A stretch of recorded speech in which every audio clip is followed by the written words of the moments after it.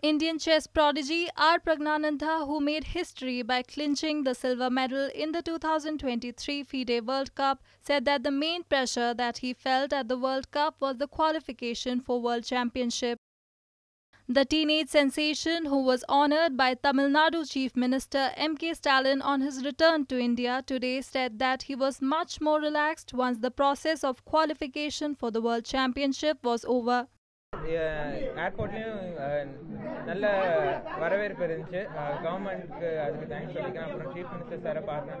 So அவங்களுக்கும் thanks சொல்லிக்கிறேன். Sports minister சாருக்கும் அங்கே பார்த்துட்டு மீட் பண்ணிட்டு தான் இப்போ தான் வரேன் ஏன்னா யூஸ்வலாக வந்து ஆடுற பிளேயருக்கு தான் அந்த இது கிடைக்கும். இப்போ வந்து பேரண்ட்ஸ்க்கும் கிடைக்கிறது ரொம்ப சந்தோஷம் தான். ஏன்னா அதுதான் கேண்டிடேட்ஸ்க்கு செலெக்ஷன் அதுதான் அந்த மெயின் குவாலிஃபிகேஷன் பார்த்துட்டு வேர்ல்ட் சாம்பியன்ஷிப்பு இது டீம் டோர்னமெண்ட் நான் கொஞ்சம் ரிலாக்ஸ்டாக தான் ஆனேன் அண்ட் ஏன்னா மற்ற ஸ்ட்ராங் பிளேயர்ஸ் இருந்தாங்க எங்கள் டீமில் ஸோ எங்கள் டீம் தான் ஃபேவரஸ் டு வின் ஸோ அது வின் பண்ணது Pragnanandha's mother, Nagalakshmi, also expressed her satisfaction at her son qualifying for the all important World Championship. இது வந்து இந்த பிடை வேர்ல்டு கப்ன்றது ரொம்ப முக்கியமான டோர்னமெண்ட்டு அதுவும் பெரிய டோர்னமெண்ட்டுக்கு செலெக்ஷனு அதில் என் பையன் செலெக்ஷன் நான் இருக்கிறது எனக்கு ரொம்ப ரொம்ப மகிழ்ச்சி.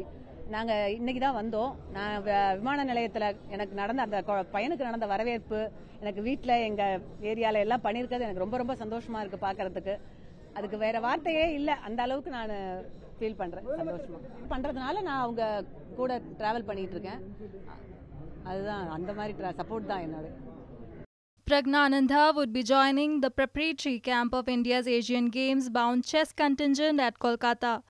Grandmasters Vidit Gujarati, Arjun Erigesi, and D. Gukesh, and veteran Pentala Harikrishna are the other members who are part of the Hangzhou bound men's squad.